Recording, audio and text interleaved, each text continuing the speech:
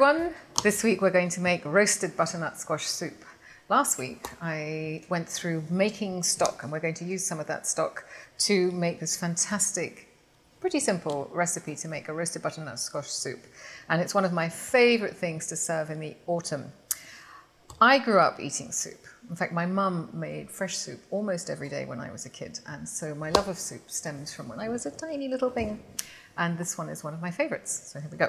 You need a roasted butternut squash, and one squash about this size will make soup for six to eight people.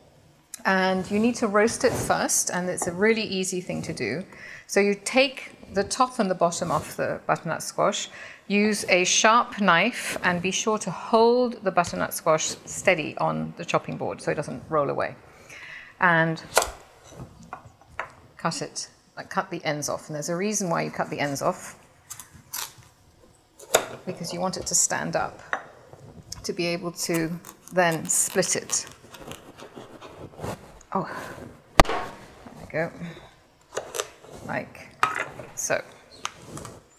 Now then, you have to get rid of this, the pits inside, and I like to use an ice cream scooper to do that. It works really well and it's easy and quick to do. All right, bit of olive oil on the pan.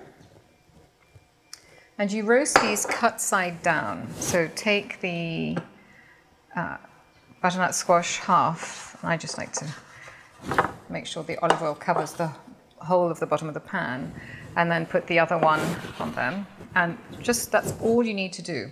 Um, do make a couple of cuts in the top, just so it doesn't, I like to do this just to make sure it doesn't bubble up. That's the oven telling me that it's ready to put in the oven, so I'm just going to go and pop this in now. 425 degrees for about 40 minutes.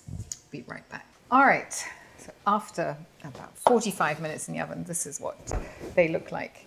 And um, it's easy to scoop out the flesh. You want to get to the point where they're easy to scoop out.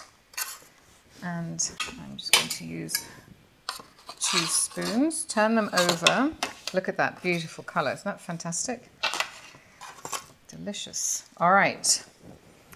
pop this into a bowl.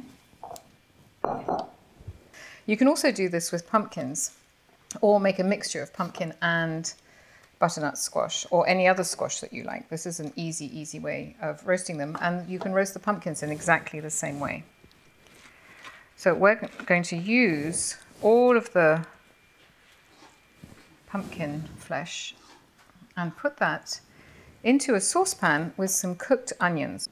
Now then, we're going to take our butternut squash and make the soup on the stove. So to complete the soup, what you need to do is to pour a little bit of olive oil, just enough to coat the bottom of the saucepan with a thin layer and then heat that up. And then this is one large chopped onion, sort of cut in half, peeled and thinly sliced. And we're going to pop that into the pan. And that's going to cook for about three or four minutes.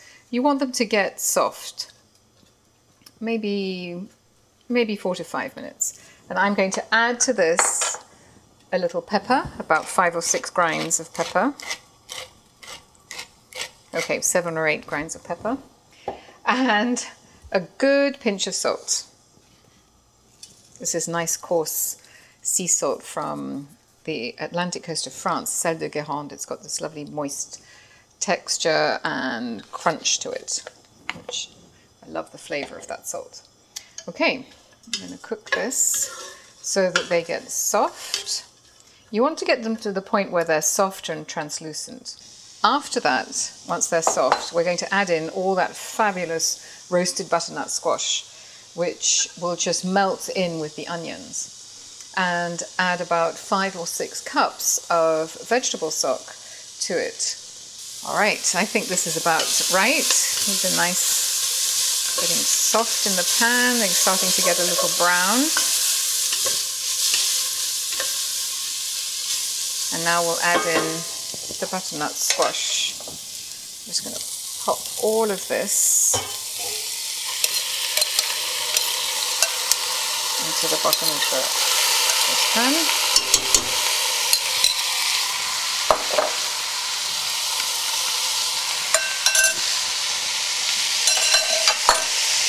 that.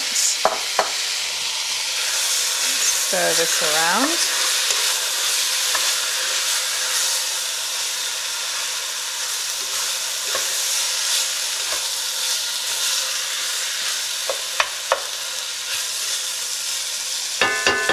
And then to this mixture, I'm going to add, and here I've got about five cups, five and a half cups of beautiful vegetable stock. Just add that all in there.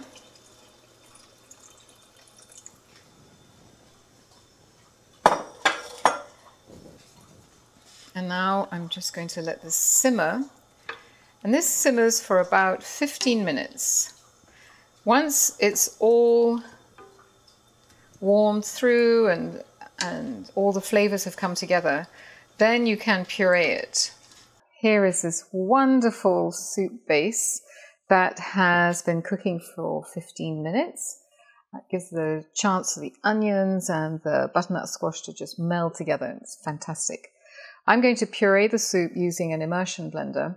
You can use a regular blender, and if you do that, be careful. This is a hot liquid, so don't overfill the the, the regular blender because the top could go leaping off and you'd have soup everywhere, which is unpleasant. I know because I did that once. And that's why now I like using these. So immersion blender, you just put the base of the blender straight into the bottom of the bowl and then puree it and it's magic. I like to, I just lift it once or twice in the bottom of the bowl. You want to keep doing this until the soup is completely smooth. Look at that, it's just beautiful. This is a great soup to have at the beginning of the holidays for Thanksgiving every year. Ever since the very first Thanksgiving that I came to in America, I had that Thanksgiving with a friend of mine, and she served soup as the first course. And I have kept up that tradition every, ever since. So here we go, our wonderful roasted butternut squash soup. I'm just going to get rid of that. And I like to serve this in bowls with a dollop of creme fraiche or a dollop of yogurt. It adds a little tang to it and some chopped chives. So I actually like to keep the elastic band on the chives when I'm chopping them. It holds them in place, it makes it easy to chop. We just need a little handful of chives to put into the top of each soup bowl. There we go. And this is what you can do. So, a nice ladle of this beautiful soup, or two. Look at that, delicious. And a little, this is yogurt, Greek yogurt, a little bit in the top of the yogurt. Like that. And a sprinkling of chives over the top. There we go. Oh, I can't wait to taste this. In fact, I think I'll have a bite right now. Bon appetit!